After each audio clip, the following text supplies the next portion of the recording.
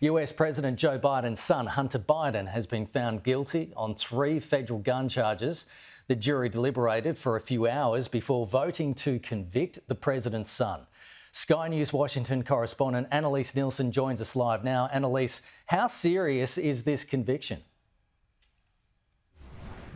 Look, this is quite serious, and there is potential for as much as 25 years jail time for Hunter Biden, although it's believed when it does come to sentencing that he'll be given something more lenient, given that the gun in question wasn't used in the commission of a violent crime. But he was found guilty by a jury of his peers today. The First Lady Jill Biden walked in with her stepson for this day. And it didn't take the jury long to decide that he was guilty on these three charges. Essentially, they didn't buy the defense that because he wasn't actively taking drugs at the time he filled out this form to acquire the Colt pistol and that he wasn't actively taking drugs while he had it in possession after that, that he wasn't well aware that he was a drug addict, as was detailed in his personal memoir, and that he should have declared that on the form and should not have had the gun in his possession during that time. Now, you'll remember, or you may remember, there was a plea deal that was originally negotiated by Hunter Biden's lawyers for this crime, that he wouldn't serve any jail time, that he would also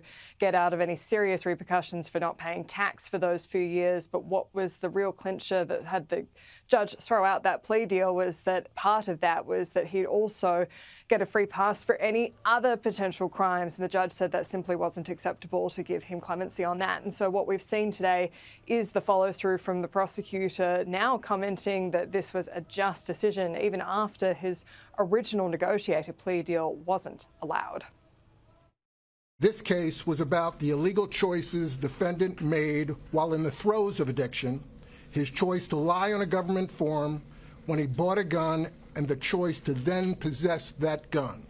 It was these choices and the combination of guns and drugs that made his conduct dangerous. Second, no one in this country is above the law. Everyone must be accountable for their actions, even this defendant.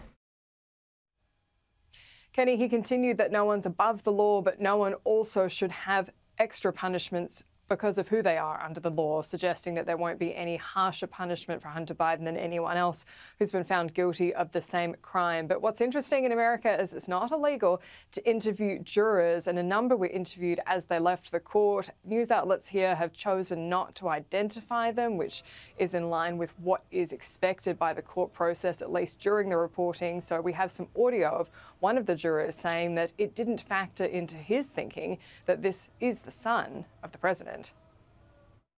President Biden uh, never really even came into play for me um, because his his name was only brought up once during the trial, and that's when I that's when it kind kind of sunk in a little bit.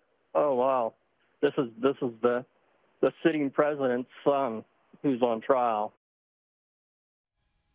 Now, Kenny, as luck would have it, Joe Biden was at a gun control event today. There was probably some anticipation this timing would line up, but it is Quite remarkable that this is the same day his son is found guilty on three, three felony gun charges. Now, he didn't reference that in his speech where he talked about how he was going to bring in some harsher penalties, especially for assault rifles, but a statement was put out by the White House counsel saying, as I said last week, I'm the president, but I'm also a dad.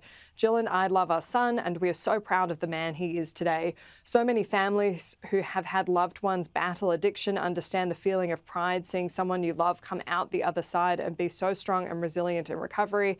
As I also said last week, I will accept the outcome of this case and will continue to respect the judicial process as Hunter considers an appeal. Jill and I will always be there for Hunter and the rest of our family with our love and support. Nothing will ever change that. He said in an interview last week as well that he will not use his presidential pardon power to pardon Hunter Biden if he leaves office or any time before that. Mm, it's certainly an interesting development. Anneliese Nielsen, thanks so much. Talk soon.